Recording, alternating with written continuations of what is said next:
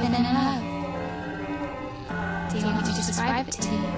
I was a heavy heart to carry. My beloved was weighed down. My arms around his neck. My fingers laced a crown.